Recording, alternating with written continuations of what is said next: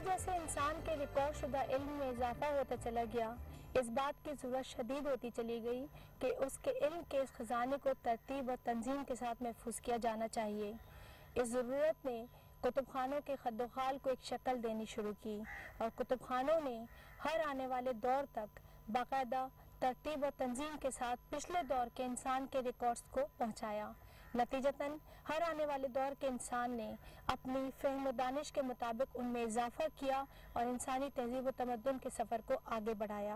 तहजीब तमदन का बढ़ता हुआ ये सफ़र इंसान को आज टेक्नोलॉजी के उस दौर में ले आया है, जहाँ वो ज़मीन और समंदर में छुपे हुए ख़जाने खोद निकालता है तो कभी आसमानों और सितारों पर कमंदे डालता है। इंसान अपने सफ़र में रवा दवा है और कुतुब खाना आज भी इंतहाई हसन खूबी के साथ इल्म इंसानी को महफूज करने और उसकी तरसील के काम में मसरूफ़ है। जिस दिन अवली दौर के किसी जहीर इंसान ने अपने इल्म को महफूज करने के लिए गार की दीवार पर लकीरें खींची थीं, उस दिन इल्म, किताब और कुतुब खाने की बुनियाद रख दी गई थी। जैसे जैसे इंसान समाजी ज़िंदगी की मंजिलें तय करता चला गया, अपने इल्म को महफूज करने के लिए नए नए तरीके याद करता चला गया। उसने मिट्टी की तख्तियों पर लिखा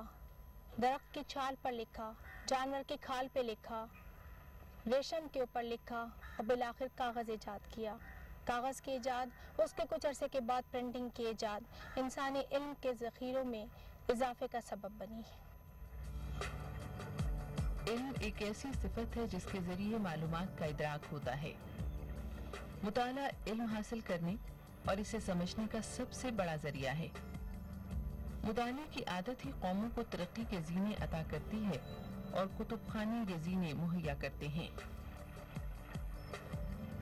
किसी भी कौम की तरक्की का अंदाज़ा उसके कुतुब खानों को देख कर लगाया जा सकता है। ये न सिर्फ़ कौमों की तहजीबी और सकाफती ज़िंदगी का सरमाया होते हैं, तालीमी, माशी, साइंसी और फनी तरक्की के आईनादार भी होते हैं। मुल्क की तरक्की में कुतुब खाने की खिदमत हमेशा से बहुत अहम रही हैं।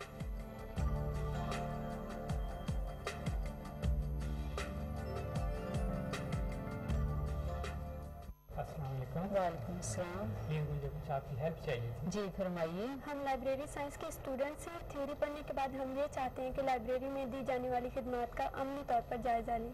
ठीक है अभी हम आपको विज़िट करा देते हैं। जी आप कहिए। जी मुझे इकोनॉमिक्स की किताब चाहिए लेकिन मुझे मुस- मुसन्निफ का नाम मालूम नहीं। ठीक है अभी आपको हम गाइड कर देते हैं। जी आप फरमाइए। मुझे बर्नार्ड साहब की किताब चाहिए लेकिन टाइटल का पता नहीं। ठीक है, आप लोगों के सवाल मैंने सुने। बेहतर है कि पहले मैं आपको लाइब्रेरी के मुख्तलिफ़ शोबाजात का विज़िट करा दूँ। इससे एक तो आप लोगों को अपने सवाल के मतलूबा जवाब मिल जाएँगे। दूसरा ये कि आप लाइब्रेरी के मुख्तलिफ़ शोबाजात से वाकफियत हासिल कर लेंगे। इससे ना सिर्फ़ अभी, बल्कि आइंदा भी आप खुद से लाइब्रेरी को खुद ही इस्तेमाल कर सकेंगे। ठीक है विज़िट से पहले आप ये पंफलेट लें। इनमें लाइब्रेरी के मुतलिक बुनियादी मालूम फ्राहम की गई है। यानी लाइब्रेरी के उकातेकार मेंबरशिप का तरीक़ाकार लाइब्रेरी के मुख्तलिफ़ शोबाजात और लाइब्रेरी के असूल ज़ाबत के मुतलिक दर्ज किया गया है। पंफलेट से आपने लाइब्रेरी के मुतालिक मालूम पढ़ ली। अब आप लोगों के जहन में बहुत सारे सवाल उठ रहे होंगे। लाइब्रेरी में रहनुमाई के लिए साइन बोर्ड्स का इस्तेमाल किया जाता है। आइए अब हम इसकी मदद से लाइब्रेरी का विज़िट करते हैं। ये कैटलॉग कैबिनेट है? क्योंकि इसमें तमाम के तमाम टाइटल कैटलॉग लगे हुए हैं, जिनकी तरतीब हरफ तहजी के अतबार से होती है। आपका मतलूबा अनुमान इकनॉमिक्स है तो हम ई वाली दराज में देखते हैं। ये रहा ई और ये रही आपकी मतलूबा किताब इकनॉमिक्स अब आप यूँ कीजिए कि इसका कॉल नंबर नोट कर लें, ताकि हम आपकी मतलूबा किताब तक पहुँच सकें।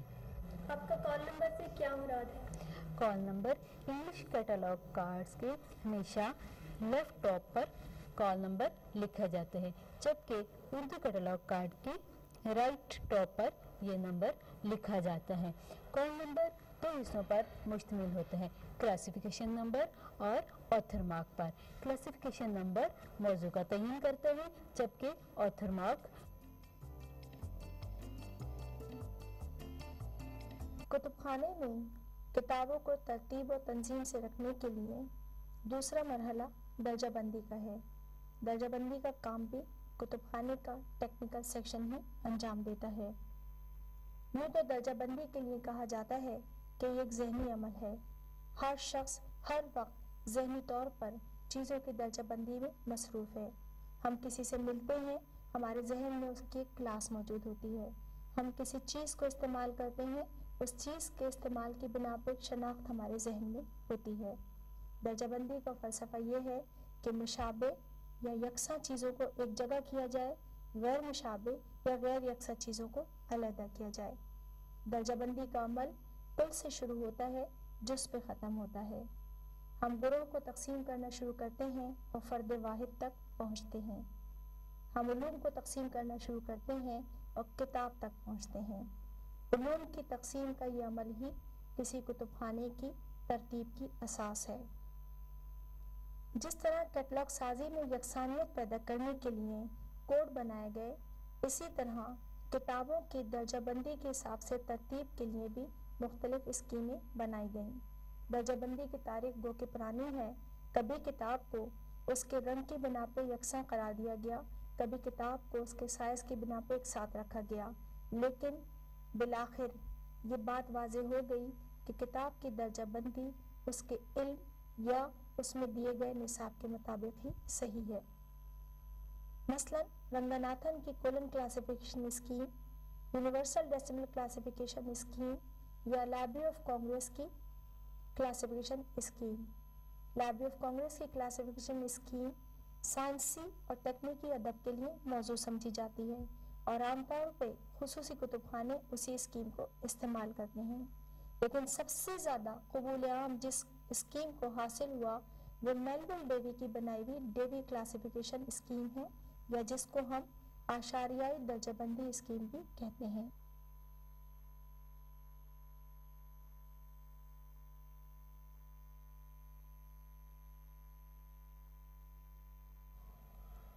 कटर की तोसीही दर्जाबंदी। चार्ल्स कटर एक अमेरिकन लाइब्रेरियन थे। उन्होंने अठारह में इस दर्जाबंदी स्कीम की बुनियाद रखी।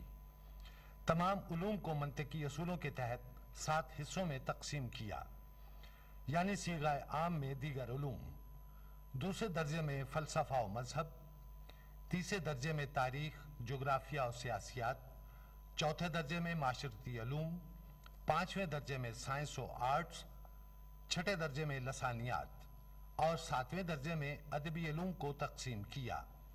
इसमें मकामी तकसीमें भी हैं। अलामत अंग्रेज़ी हरूफ तहजी और अरबी आदात पर मुश्तमिल है। ये स्कीम मुकम्मल ना हो पाई थी कि कटर वफात पा गए। डेवी की डेसिमल दर्जाबंदी डीडीसी मैलूल डेवी एक मशहूर माहिर लाइब्रेरी साइंस थे। 1876 में इस स्कीम को मुतारफ कराया। उलूम को मनतकी एतबार से 10 दर्जों में तकसीम किया है। इसे उसने फ़र्स्ट समरी से मौसूम किया। सेकंड समरी के तौर पर उसने हर मौजू को फिर मजीद नौ जैली मौजूद में तकसीम किया। मसलन सौ फ़लसफ़े की जैली तकसीम 110, 120 से 190 हुई। थर्ड समरी में हर जैली मौजू को मजीद नौ दर्जों में तकसीम किया है। मसलन 110 को 111, 112, 113 से 119 तक। थर्ड समरी के हर नंबर के बाद आशारिया यानी डेसिमल का इस्तेमाल किया है। उसे टेबल का नाम दिया है। आशारिया के बाद हर दर्जा मजीद नौ दर्जों में तकसीम होता चला जाता है। मसलन 111 आशारिया एक एक सौ ग्यारह आशारिया दो और एक सौ ग्यारह आशारिया नौ। इमदादी तकसीमें यानी लसानी, अदबी और जोग्राफियाई तकसीम को फॉर्म क्लाजेज का नाम दिया है। हैत के एतबार से तकसीम को फॉर्म डिवीज़न कहा है। यानी मखसूस मौजू पर कोई डिक्शनरी या इंसाइक्लोपीडिया है तो मौजू नंबर के बाद आशारिया लगाकर जनरलिया क्लास से डिक्शनरी का नंबर ज़ीरो तीन लगा दिया जाएगा। मसलन इकोनॉमिक्स पर डिक्शनरी का नंबर होगा 303 आशारिया सिफर तीन। इसके अब तक 20 एडिशन शाया हो चुके हैं, जिससे वाजे होता है कि इसमें नए मौजूद को समोने की गुंजाइश है। इसकी अलामत अरबी आदात पर मुश्तमिल हैं और झेली मौजूद के लिए डेसिमल का इस्तेमाल है। इस वजह से इसके नंबर जल्द जे नशीन हो जाते हैं। आलमगीर आशारियाई दर्जाबंदी, यानी यूडीसी अठारह में ब्रसल्स के मकाम पर बैन अवी इदारा किताबियात ने डीडीसी के 19वें एडिशन पर इसकी बुनियाद रखी। उलूम की बुनियादी तकसीम वही दस हिस्सों पर मुश्तमिल है, जो कि डेवी की डेसिमल दर्जाबंदी में है। ये दर्जाबंदी स्कीम साइंटिफिक और तकनीकी इदारों के कुतुब खानों में बहुत मकबूल है। इसके अलावा दो एडिशन इसके शाया हो चुके हैं। अलामत डीडीसी की तरह अरबी आदात पर मुश्तमिल हैं। सिफर का इस्तेमाल सिर्फ़ मुश्तरक उनवानात के लिए वक्फ है। इसके अलावा प्लस, कोलन और आबलिक का इस्तेमाल मौजूद के बाहमी रब्त को ज़ाहिर करने के लिए इस्तेमाल होता है। ब्लिस की किताबियाती दर्जाबंदी। हेनरी ब्लिस ने न्यूयॉर्क कॉलेज लाइब्रेरी के लिए ये स्कीम वजह की। उलूम को चार बड़ी शाखों में तकसीम किया है और उन्हें मजीद तेईस झेली उनवानात में तकसीम किया है। इसमें इमदादी तकसीमें भी मौजूद हैं। अलामत अंग्रेज़ी हरूफ तहजी पर मबनी है। रंगानाथन की कॉलन दर्जाबंदी एस आर रंगानाथन भारत के एक मशहूर लाइब्रेरियन थे। उन्होंने मद्रास यूनिवर्सिटी लाइब्रेरी के लिए ये स्कीम 1933 में वजह की। इसके दो एडिशन शाया हो चुके हैं। इसमें उलूम को 28 बड़े उनवानात में तकसीम किया है। सीगाए आम और इमदादी तकसीमें भी मौजूद हैं। नए मौजूद की गुंजाइश है। अलामत में अंग्रेज़ी हरूफ तहजी और अरबी आदात के अलावा कोलन और मुसलस भी शामिल है। ब्राउन की फनवार दर्जाबंदी। जेम्स डफ ब्राउन एक अंग्रेज़ी लाइब्रेरियन थे। अठारह में उन्होंने ये स्कीम वजह की थी। इसके तीन एडिशन शाया हो चुके हैं। उलूम की तकसीम दस हिस्सों में की गई है। इसमें इमदादी तकसीम भी मौजूद हैं। अलामत में हरूफ के साथ आदात भी शामिल हैं। कांग्रेस लाइब्रेरी की दर्जाबंदी। लाइब्रेरी ऑफ़ कांग्रेस अमेरिका की बहुत बड़ी लाइब्रेरी है। वहाँ बीकन की तरमीम शुदा दर्जाबंदी स्कीम इस्तेमाल होती थी। हादसाती तौर पर कुतब खाने का जखीरा बड़े पैमाने पर तबाह होने की वजह से एक नई दर्जाबंदी स्कीम कांग्रेस लाइब्रेरी की दर्जाबंदी के नाम से वजह की गई। इस दर्जाबंदी का खाका कटर की तोसीही दर्जाबंदी से अखज किया गया है। इसको लाइब्रेरी की ज़रूरियात के मुताबिक वज़ा किया है। इसमें नए उलूम को शामिल करने की गुंजाइश है। इसकी अलामत अंग्रेज़ी हरूफ तहजी और अरबी आदात पर मबनी है। डेवी ने इनकी दर्जाबंदी कैसे की? ये एक दिलचस्प कहानी है। उसने फ़र्ज़ किया कि इब्तदाई दौर के इंसान ने सबसे पहले क्या सोचा होगा?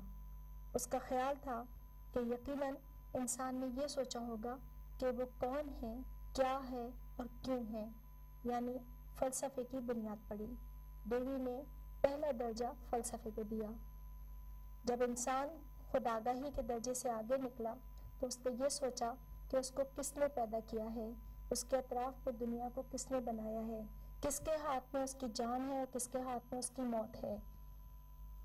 अपनी ज़ात से आगही के बाद इंसान के जहन में यकीनन ये ख्याल पैदा हुआ कि उसको किसने पैदा किया है, उसका मालिक कौन है, उसकी ज़िंदगी और मौत किसके ताबे है, यूँ देवी के ख्याल में मज़हब की बुनियाद पड़ी और उसने दूसरा दर्जा मज़हब को दिया।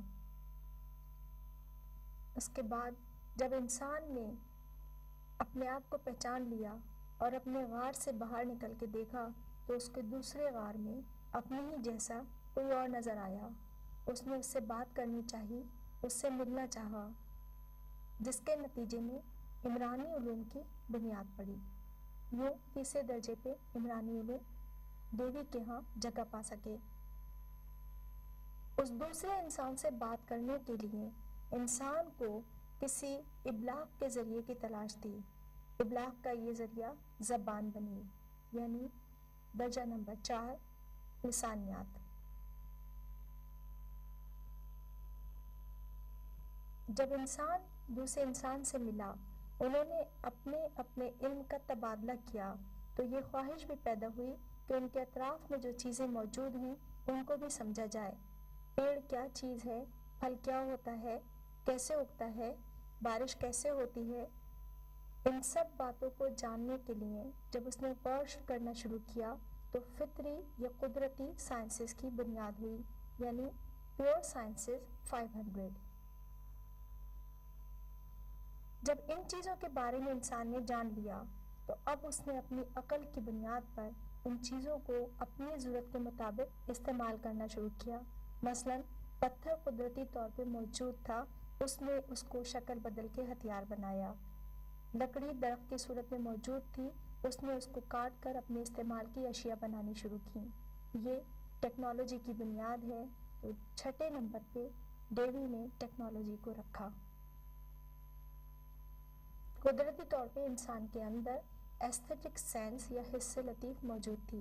वो खूबसूरती को सराहना जानता था, उससे लुत्फानंदोज होना जानता था और अपने लतीफ़ एहसास का इजहार करना जानता था। ये डेवी के यहाँ सातवें दर्जे पर, यानी फाइन आर्ट्स की सूरत में सामने आया। उसने जिन चीज़ों को समझा, जिस जबान में अपने ख्याल का इजहार किया, उसमें हर बात जो उसने लिखी या कही, वो हकीकत पर ही मबनी नहीं थी। कुछ चीज़ों का ताल्लुक उसके तस्वुरात से भी था। कुछ इजहार का ताल्लुक उसके लतीफ़ एहसास से भी था। ये अदब है। देवी के यहाँ अदब आठवें दर्जे पर है। आने वाली नस्लों ने पिछली नस्लों के बारे में जानना चाहा। उनके हालात के बारे में मालूम करना चाहा। उनकी सकाफत की पहचान करनी चाहिए इसको देवी ने तारीख के अतबार से नवा दर्जा दिया। इन तमाम उलूम की तकसीम के बाद भी कुछ ऐसे उलूम बाकी रह गए थे, जिनका बरह रास्त हर इल्म से ताल्लुक था, लेकिन इनफरादी पहचान उनकी कुछ न थी, जैसे सहाफ़त या लाइब्रेरी साइंस या आम मालूम बेबी ने एक और नंबर का इजाफा किया और सिफर का दर्जा देकर दसवीं क्लास की बुनियाद डाली। यूँ एक से लेकर नौ तक की ये बुनियादी तकसीम उसने बना ली, लेकिन हर इल्म की मुख्तलिफ़ ब्रांचेस होती हैं, और ये भी उसके जहन में था कि हर इल्म बढ़ रहा है। उसको मज़ीद ब्रांचेस में तकसीम करने के लिए या जैली उनवानात में तकसीम करने के लिए उसने आशारिया का इस्तेमाल करना चाहा। आशारिया के इस्तेमाल के लिए ज़रूरी था कि पहला नंबर तीन डिजिट के ऊपर मबनी हो। तो उसने वन के से लेकर नाइन तक की तकसीम में दो सिफर का इजाफा कर दिया। यानी वन की जगह वन हंड्रेड और टू की जगह टू हंड्रेड इस तरह डेवी की पहली तकसीम वन हंड्रेड से लेकर नाइन हंड्रेड तक और उसमें इजाफी क्लास ज़ीरो हंड्रेड की करार पाई। आशारिया के इस्तेमाल के बाद आप तकसीम की किसी हद तक जा सकते हैं। यानी किसी भी सब्जेक्ट की कितनी ही ज़्यादा वसत होती चली जाए डेवी में गुंजाइश मौजूद है तो उसके लिए नंबर निकलता चला आएगा। दर्जाबंदी के अमल में जो बुनियादी बातें आपको बताई गई, उसके अलावा डेवी के इस्तेमाल में कुछ और छोटी छोटी बातों का भी ख्याल रखना होता है। इन बातों को समझने के लिए या इस पूरे अमल को देखने के लिए किताबों को क्लासिफिकेशन स्कीम के तहत क्लासिफाई होता हुआ देखने के लिए आइए हम दर्जाबंदी के सेक्शन में चलते हैं। हमारे पास एक्विडेशन से जब परचेज होकर किताबें हमारे सेक्शन में आती हैं तो सबसे पहले हम उसको रिसीव करने के बाद इस इसमें कैटलॉग मास्टर कैटलॉग से उसको चेक करते हैं। इसमें चेकिंग का तरीका यह होता है, इसलिए चेक की जाती है कि आया किताब पहले से हमारे पास मौजूद है या नहीं। अगर मौजूद है तो ऑलरेडी कैटलॉग होती है तो हम उसको लिख देते हैं। उस पर उसका कॉल नंबर जो है ना कार्ड का, जैसे इस तरह के कार्ड में कॉल नंबर लिखे होते हैं, उसको हम इस किताब के यहाँ पर लिख देते हैं। ठीक है? और फिर इसी तरह इसका दूसरा नंबर हम यहाँ पर सौ पे लिखते हैं। हम्म, इसका एक्वेशन नंबर जो है ना उसको हम इस मास्टर कार्ड पे यहाँ पे लिख देते हैं। ठीक है? इसका मतलब ये है कि किताब हमारे पास पहले से मौजूद है इसकी दूसरी कॉपी ये आ गई है। फिर इसकी ज़रूरत में ये होता है कि इसके बाद ये टाइपिस्ट के पास चली जाती है और इसका एक बुक कार्ड बनता है और फिर ये जहाँ जाना हो रीडिंग में जानी है या स्टैक में जानी है तो इसमें लेबलिंग वगैरह लगती है और उसकी राइटिंग होती है और फिर डिस्पैच अगर ये किताब हमारे पास पहले से मौजूद नहीं है हमने इसको चेक किया। इसके बाद यहाँ पे एनसी लिखा नॉट कैटलॉग फिर हम इस सूरत में इसको, किताब को क्लासिफिकेशन नंबर देते हैं। इसके लिए हम Dewey decimal classification scheme number twenty first इस्तेमाल करें तो इस वजह हमारे पास ये किताब आई। तो हमने इसको देखा पहले कि इसका ऑथर कौन सा है, हा? इसका ऑथर ये है, ठीक है? सेकंड नेम में हम देखते हैं तो आपको पता ही होगा। तो इसके बाद हमने इसको यहाँ से खोला टाइटल पेज से, और इसको चेक किया किताब ऑथर को। वहाँ पे देखा। तो वहाँ पे ये किताब मौजूद नहीं है हमारे पास, ठीक है ना? इस सूरत में हमने इसको यहाँ पर नॉट कैटलॉग एन सी लिख दिया शॉर्ट फॉर्म में, ठीक? फिर इसको हम वहाँ से ले आए किताब, और फिर इसको अब, इसको क्लासिफिकेशन नंबर हमें देना है। तो हम सबसे पहले इसको देखेंगे, इसका सब्जेक्ट क्या है, ठीक? तो कॉम्प्लेक्स वेरिएबल हमने इसको, इसके लिए अगर हमारे यहाँ पे समझ में नहीं आया तो हमने इसके लिए टाइटल इसका सब टाइटल भी हम देखेंगे, उससे भी अगर हमारे समझ में नहीं आ रही है तो फिर हम इसका कंटेंट देखेंगे। ठीक? इसको पढ़ेंगे, पूरा। उसके बाद फिर हम इसका प्रिफेस देखेंगे। बार हमारा प्रिफेस से भी समझ में अगर नहीं आता तो इसके पीछे भी इंफॉर्मेशन दी भी होती है। हम उसको पढ़ते हैं। फिर कभी कभी इसके ऊपर ना ऐसी किताबें आती हैं जिसका ये जैकेट कवर भी लगा होता है। उस पर भी इंफॉर्मेशन होती है किताब के बारे में। उसको देखते हैं। अगर इसको हमने देखा हमारे समझ में पढ़ा इसको तो हमने देखा कि ये उसकी स्टेटिस्टिक की किताब है। कॉम्प्लेक्स वेरिएबल इस, इसको हमने पहले इंडेक्स में देखेंगे। ये है डीवीडी का इंडेक्स है ना? इंडेक्स इसमें पहले हम इसको, ये अल्फ़ाबेटिकली है, इसको पहले हम देखेंगे कि इसका क्या नंबर हमने इसको निकाला। ये कॉम्प्लेक्स वेरिएबल फ़ंक्शन ठीक है? इसका नंबर यह है फाइव फिफ्टीन पॉइंट नाइन फिर हमने इसको शेड्यूल में चेक किया। क्या इसका नंबर सही है? किताब से मैच करता है कि नहीं करता? किताब का जो सब्जेक्ट है, वही इसमें है या कुछ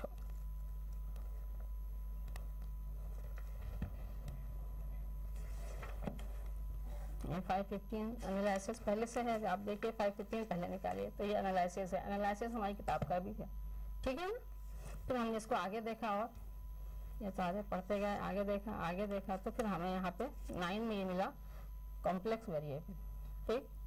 तो हमने देख लिया कि इसमें जो हमने यहाँ पे इंडेक्स में जो नंबर देखा, वो बिल्कुल सही है। इस सूरत में हम इसको यहाँ पर, इसका नंबर दे देंगे, ठीक है?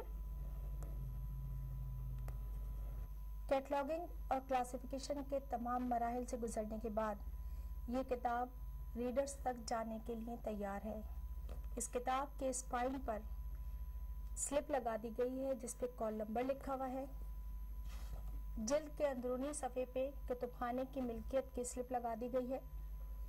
इस स्लिप के ऊपर कुतुबखाने का नाम, कॉल नंबर और एक्सेशन नंबर तीनों दर्ज हैं। मेन टाइटल पेज की बैक पर, यानी verso of the title page पर एक्सेशन नंबर लिखा गया है। तारीख डाली गई है जिस वक्त किताब कुतुबखाने में आई थी। इसके अलावा किसी एक जगह हर कुतुबखाना अपनी पॉलिसी के मुताबिक किसी सफ़े पे बगैर रीडर के मिलाए यानी पोशीदा जगह पर भी एक्सेशन नंबर लिखता है ताकि किताब अगर कभी चोरी की हो और मिले तो उसको चेक किया जा सके। आखिर में किताब को सर्कुलेशन में जाने के लिए यानी का, कारी के नाम पे अगर वो इशू होती है वापस आती है उसका रिकॉर्ड रखने के लिए बुक स्लिप लगा दी गई है। बुक पॉकेट लगा दी गई है जिसमें किताब का कार्ड है। जब किताब इशू होती है तो कार्ड अपने पास रख लिया जाता है किताब कारी को दे दी जाती है।